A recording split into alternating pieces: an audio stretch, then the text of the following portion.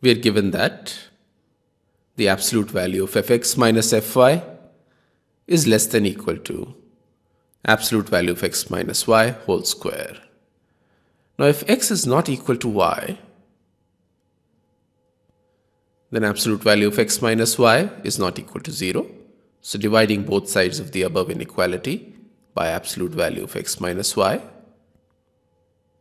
we get absolute value of fx minus fy divided by absolute value of x minus y is less than equal to absolute value of x minus y. Now take the limit of both sides as y tends to x. Note that the absolute value of x minus y is equal to the absolute value of y minus x.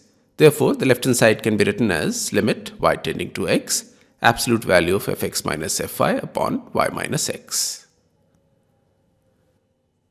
is less than equal to the limit as y tends to x absolute value of x minus y. Now note that as y tends to x, the right hand side tends to 0.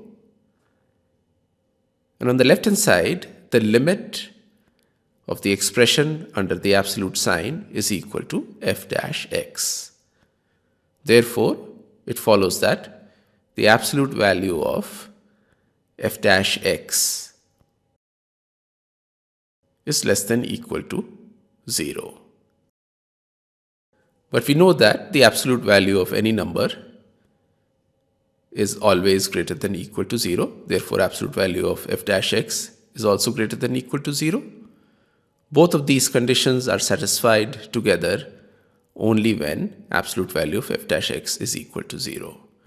It therefore follows that fx must be a constant,